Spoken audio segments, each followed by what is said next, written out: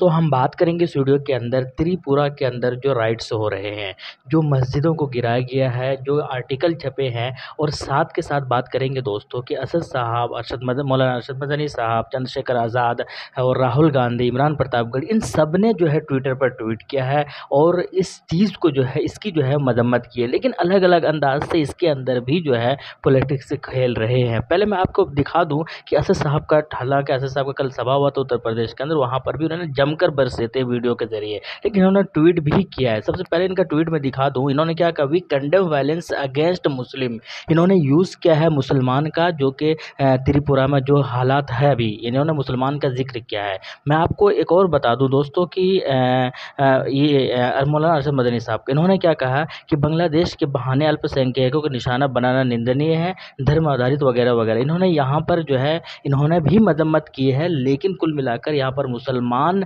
का नहीं, बल्कि अल्पसंख्यकों का जो है तस्करा किया है। यही नहीं, इमरान प्रतापगढ़ी साहब। इन्होंने भी क्या कहा कि त्रिपुरा को सरकारी मदद से जलाया जा रहा है। हालात बहुत चिंताजनक है। अल्पसंख्यक, यहाँ पर भी अल्पसंख्यक का इन्होंने तस्करा किया है। जबकि मैं आपको दिखा दूँ चंद्रशेखर आज़ाद, जो कि आज़ाद समाजवादी पार्टी के जो चीफ है, इन्होंने क्या कहा है कि त्रिपुरा में जिस तरीके से मुस्लिम समाज को निशाना बनाकर इन्होंने मुस्लिम का ज़िक्र किया है। यही नहीं राहुल गांधी इन्होंने भी ट्वीट किया है और इन्होंने भी त्रिपुरा में हमारे मुसलमान भाइयों, यानी इन्होंने भी मुसलमान का तस्करा किया है। अब मेरा यही सवाल होता है दोस्तों, हालाँकि मैं मौलाना मरशद मौलाना अरशद मदनी साहब के किसी भी चीज़ को जो है वो नहीं कर सकता, वो उनकी सोच है, वो बहुत काबिल है, वो खैर, मैं, लेकिन मैं ये कहना चाहूँगा, मेरा एक सवाल यहाँ पर खड़ा हो रहा है, मेरा ही नहीं बल्कि बहुत सारे लोगों का अब यहाँ पर सवाल खड़ा हो रहा है कि जैसे इमरान प्रतापगढ़ी इन्होंने अल्पसंख्यक का ज़िक्र किया, क्या वहाँ पर अल्पसंख्यक की मस्जिद ढाई गया या मुसलमानों का मस्जिद ढाया गया।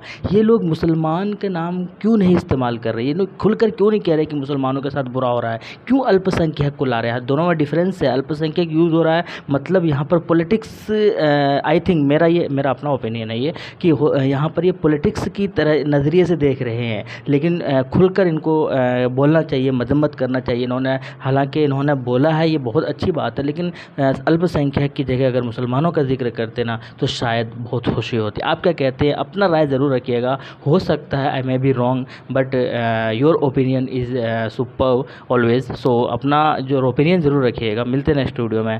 थैंक यू जय हिंद